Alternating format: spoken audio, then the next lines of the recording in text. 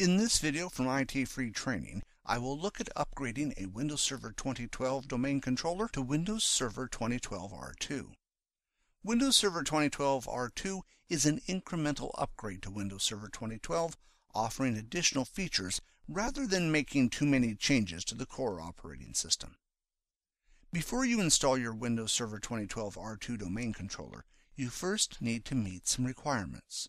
First of all, your domain must contain only Windows Server 2003 or above domain controllers. If you have a domain controller that is lower than 2003, you will need to upgrade it before you install your first Windows Server 2012 R2 domain controller. Next, you need to run adprep slash forestprep once in the forest before you install the first Windows Server 2012 R2 domain controller. This makes a number of schema changes required by Windows Server 2012 R2. These changes can be made at any time before the deployment of the first Windows Server 2012 R2 domain controller and does not affect the running of the current domain. You could, for example, run adprep months or years before you installed your first Windows Server 2012 R2 domain controller. The next step is you need to run adprep slash domain prep once in each domain in the forest. Although this needs to be run in each domain at some stage, you only need to run it in a domain that you plan to install a Windows Server 2012 R2 domain controller in. If you have a domain that you are not planning to add any 2012 R2 domain controllers to, you do not need to run the command until you decide to deploy your first Windows Server 2012 R2 domain controller. The last point to remember is this does not affect Windows Server 2012 R2 member servers. If you want to try out Windows Server 2012 R2 and are not ready to deploy any Windows Server 2012 R2 domain controllers, you can always install a Windows Server 2012 R2 server and add it to the domain. If you do this, there is no requirement to run these commands before you add it to the domain. I will now change to my Windows Server 2012 domain controller and look at upgrading it to Windows Server 2012 R2. In this demonstration, I will upgrade the domain controller NYDC1 from Windows Server 2012 to Windows Server 2012 R2. In a production environment, I would personally not do it this way. I would personally run the AD prep commands and then install Windows Server 2012 R2 domain controller on a brand new server rather than upgrading an existing server, as it is less prone to problems doing it this way. However, in the real world, this is not always possible, and you may need to perform an upgrade like the one that I'm about to perform. Just like if you were upgrading a client operating system, the operating system that you want to upgrade from needs to be booted into before you can run the setup. In this case, NYDC1 is already running and I am logged in. I have put the setup DVD in the computer, so all I need to do is open the DVD and run the setup. The setup will start up and I will get the option to install now to start the upgrade process.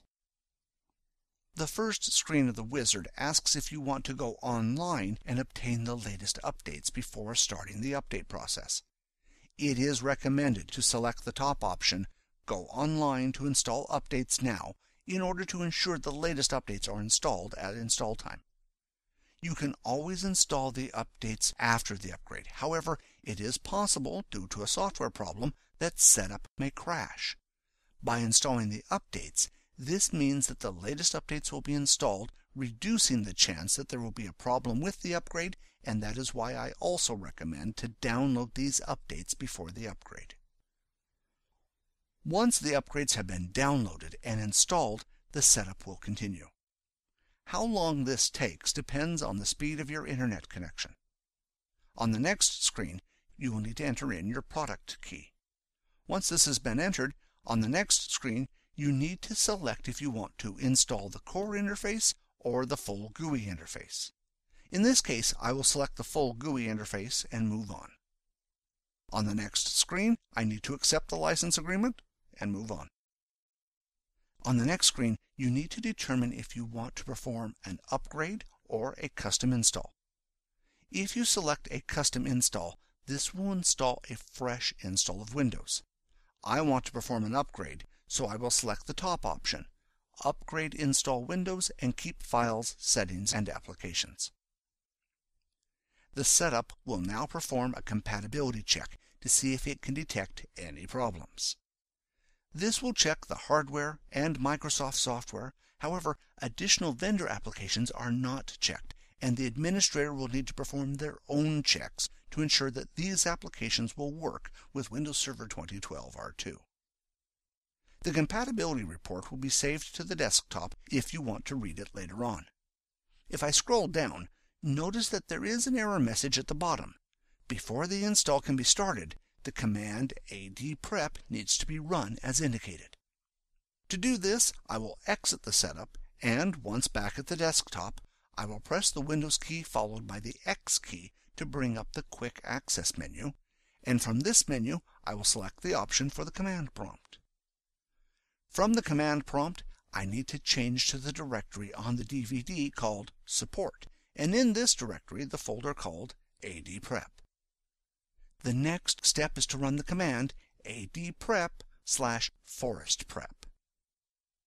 Once the command runs, it will remind you that the lowest domain controller supported is Windows Server 2003.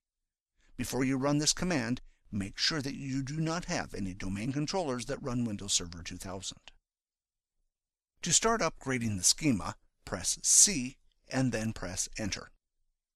Once the process starts, it is not reversible, so this extra step has been added to ensure that you are aware of what is happening before you run the command and commit to the changes to be made.